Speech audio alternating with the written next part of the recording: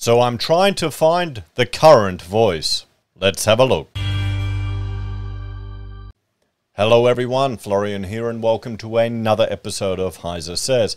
Grab your stein of coffee because, well, I want to take you on a little journey where I'm trying to find out about the current voice to parliament for all of the indigenous Australians that we have in this fantastic country of ours.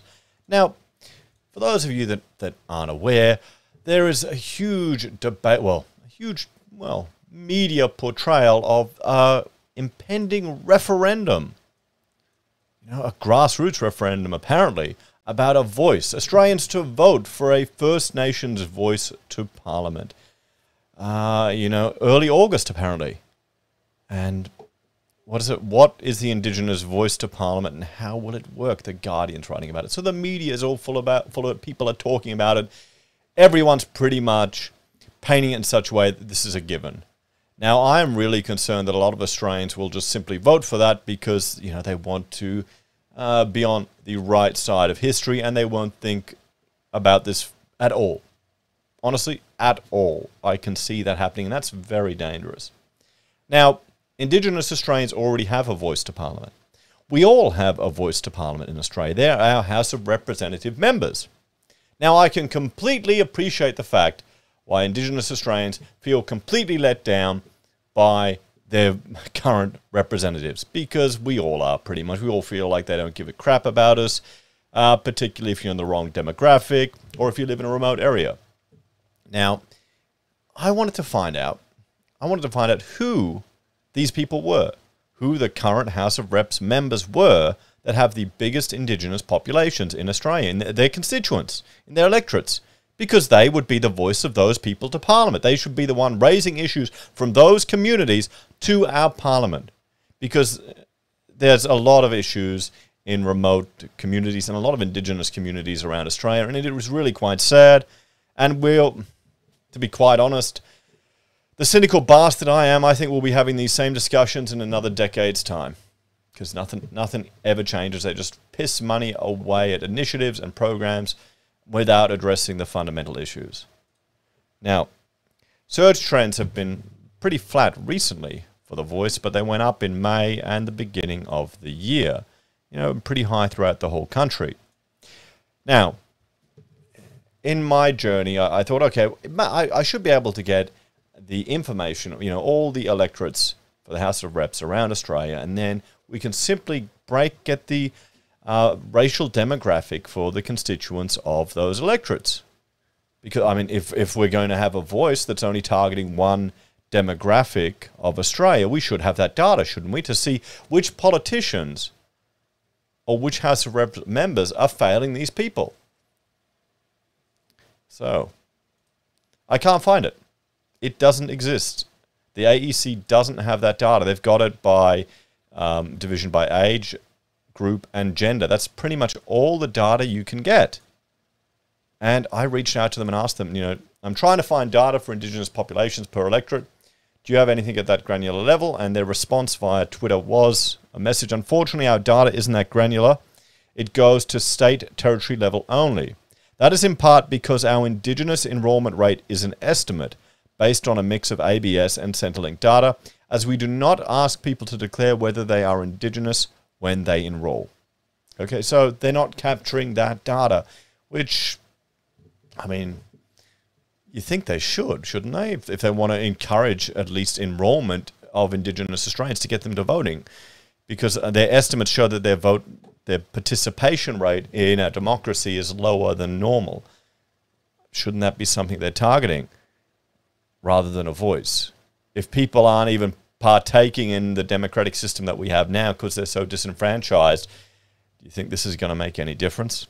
So the AEC couldn't help me. They didn't have the data. They didn't have the data, which is a good or a bad thing. Now, how many people are we talking about here? Out of a population of 25 million, we've got about, hang on, I need to see here, about 942,000 people that are Indigenous. And you can see you've got 333 in New South Wales, only 78 in Victoria. 78 in Victoria. So should a Victorian who's voting on this, the 6.4 million non-Indigenous, should they have as much a say as a New South Welshman or a Queenslander? when there are 273 Queen, 73,000 Queenslanders who are Indigenous. Only 52,000 in South Australia, which is surprising when you consider how much land is under Indigenous control. Western Australia, 120,000. Tasmania, 33,000. Northern Territory is, hang on, I can't see that here. Let me make that a bit bigger. Is uh, 76,000. And the ACT is 9,500. So that, that's the population that we're talking about here. There are other demographics which have a larger share of the Australian population. But there's no discussion of giving those groups a voice. And there really shouldn't be because we all have a voice to Parliament through our House of Reps. And rather than building a new infrastructure to try and deal with these issues in these remote communities, maybe we should be listening to the Indigenous politicians that are raising issues in Parliament that are completely ignored. The fact that you've got you've got Indigenous women walking to Canberra, and the only politician that'll talk to them is Pauline Hanson. Funny that, isn't it? So, now I'm trying to find some data where Indigenous Australians live, and uh, we've got this here: the remote Indigenous Indigenous procurement policy map. If we jump over to here, we can see so the Indigenous Procurement Policy, uh, the electronic remote Indigenous procurement map allows users to search Australia by location to determine remote or non-remote IPP status. The RIPP map is based on the Australian Bureau of Statistics 2011 census data using Indigenous areas. Please note that the electronic map should be used to determine. Now this is about, um, I'm assuming it's to do with procurement and buying things and projects and stuff like that. You know, Let, let's have a look at this map because is this something that I could use with the electoral data, maybe to kind of get a, a feel for for where these populations are, at least to, to, identify some towns or places where people are living, and we can have a look here. We have a look, what do we have here? What is it? So there you go. You've got remote park West Ball one, um, Marianne, Marani, and I mean, there you go, John. Oh, I mean, John Holland. So we've got all these areas, guys, around all of Australia, and it. I mean, this seems to make sense where you have significant Indigenous populations living, at least in some of the projects we've worked on. I mean, here you go. Is that Groote Eylandt?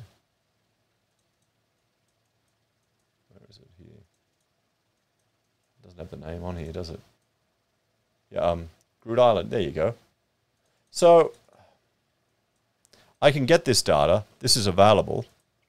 And I'm thinking I can use this data with the electoral data to then find out who the members of the House of Representatives are who are letting down their people. Okay? Um, there you go. If you have a look at this, we've got this is the federal election winning party, 2022, 21st of May 2022. So look, you've got a whole lot of red there. You've got a whole lot of blue here. Got a bit of blue up here. A lot of red here. You know, a lot of nationals here. So this it's not just one party or the other that's let down these people. So how the hell is the voice going to make any difference? Just putting that there. So this is one suggestion I'm trying to do to find out who these people are, who the House of Representative people are. Because on, honestly, someone living in a remote community here or out here is going to have a very different life to an Indigenous person living in Sydney, Melbourne, or Brisbane. Okay, and we, we can it's it's the same with all Australians, regardless of race. If you're living in the middle middle of nowhere, guys. So another thing, let me know your thoughts on this one.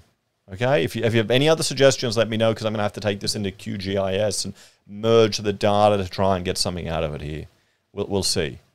Because the I mean, the, there's a whole lot of areas here, but the population in APY land in South Australia is hardly anything. It's nothing. So how can they have this many things? I'm, I, mm, I don't know. I guess I'm going to learn about it. Now, does everyone remember ATSIC? I think it's worth talking about it, guys, because this is well, the Aboriginal and Torres Strait Islander Commission. And I thought we'll just go through some snippets from Wikipedia to remind everyone, because this isn't the first time we've tried to deal with these issues here in Australia. We're trying to, to address the significant gap between Indigenous Australians and the rest of Australia. And I, frankly, I'd say a big portion of it is this difference where people are living, honestly. But, you know. The Aboriginal and Torres Strait Islander Commission from 1990 to 2005 was the Australian government body through which Aboriginal Australians and Torres Strait Islanders were formally involved in the process of government affecting their lives. Doesn't that sound very familiar? It seems very familiar, doesn't it? Established under the Hawke government, a man who could scull a beer in 1990, a number of Indigenous programs and organisations fell under the overall umbrella of ATSIC. It was dismantled in 2004 in the aftermath of corruption allegations and litigation involving its chairperson, Geoff Clark. Now, you need to look up this guy, okay? Because I, I, the stuff that he's been accused of is horrific. It really is. I mean, bloody hell, if they had social media back then. So let, us have a look at just some of the corruption investigations here, because guys, this is the problem. If we establish this voice, we can't get rid of the bloody thing. What's going to happen? We already have so many politicians that are just a pain in the ass. In 2001, ATSIC became embroiled in controversy over litigation surrounding its chairperson, Geoff Clark, relating to his, uh, to his alleged participation in a number of, you can read that word, I can't on YouTube, in the 70s and 80s, after being, uh, after being named by four women. ATSIC was also investigated for corruption and the embezzlement of funds intended for service delivery to help Aboriginal peoples.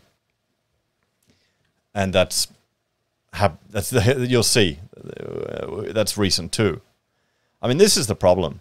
You'll you'll create all of this infrastructure, and the poor people, you know, the poor normal Aussies who happen to be Aboriginal living in these remote parts of Australia are going to get bugger all. You know? Maybe, here's a suggestion. We take all the money we'd spend on The Voice and we just subsidize healthy food, fresh meat for out here, this part of Australia, right here. That's right here, to, to address the bloody diabetes and health issues that people have. How about, how about that? And, you know, oh boy. Soon after this, the government under then Prime Minister John Howard began to remove some of ATSIC's financial, fiscal powers, which were then transferred to new independent organisations, the Aboriginal and Torres Strait Islander Services. So are they are they going to disappear now that we've got a proposed voice? These organisations or not? I mean, we don't know. We're voting in a referendum, and we don't know what the outcome is, what the proposal is. They're going to figure that out later. I really get the feeling Labor just wants to get this over the line so they can claim that they've achieved something. Because the last big referendum we had for gay marriage, that was a Liberal victory. You know, they brought that in, not Labor. So the government suspended Geoff Clark as chair of ATSIC in 2003 after he was convicted of obstructing police during a pub brawl. And the uh, Lionel Quartermer, uh, and Lionel Quartermaine became the acting chair. A review of ATSIC was commissioned in 2003. The report authored by uh, John Hannaford, Jackie Huggins, and Bob Collins, was titled In the Hands of the Regions, a new ATSIC report in the review of Aboriginal and Torres Strait Islander Commission. And it recommended reforms which gave greater control of ATSIC to Aboriginal and Torres Strait Islander people at the regional level. That, that I, I, I quite like the sound of that. Because this is the thing, the most important level of government should be the council level, honestly. It should have much more control so you can shape communities how you want, because you can actually get out of communities at that level. Indigenous Affairs Minister Amanda Vanstone stated that the review had concluded that ATSIC had not connected well with Indigenous Australians and was not serving them well. So let's just remember that. And here's one thing I want to finish on an article from last year, August 2021, Indigenous leader uh, Geoff Clark to stand trial on 384 fraud related charges involving $2 million. He's a character, this guy. You go, go through his, uh, what's, oh, anyway, look him up on Wikipedia. So, guys, let's have a talk about that. So, what, what do you think about trying to get, identify the House of Reps members Because it's not just the ones that are sitting now. They've, if they're new, they've probably had very little time. It's the ones that have been there for years, for decades. What have they done to help their local communities? And are we really voting for something that will be enshrined in the Constitution that we won't be able to get rid of? Is this just going to be another ATSIC again? Another complete mess, potential for corruption, potential for crime. But reality, I think the most concerning thing is the fact that it won't, it'll be so far removed from the everyday people. Do you think an inner city, uh, indigenous Melbourne citizen is going to have the same viewpoint as someone living in the middle of Australia? What, what do you think? Anyway, guys, let me know your thoughts and opinions on this one. And if you have any suggestions where I can get the data that I'm looking for, I would, frankly, I would encourage you to really question and be critical of how you vote in this coming referendum until we know what they're actually going to propose. Because, frankly, I think it'll it just sounds like more political posturing. But maybe I'm just too cynical, guys, and all be fairy floss and perfect. As always, thanks for watching. Check out my other channels, Heise Bim and Heise Does, my newly rebranded channel where I just discuss things that I do, completely irrelevant of the news. If you want to support us, you can financially on YouTube or Patreon. You can use our referral links Amazon, eBay, Independent Reserve, or Aussie Broadband. You can buy our merch or call us if you need an architect. Take care, everyone. Have a great day. And I'll see you all in the next episode of Heise Says. Bye for now.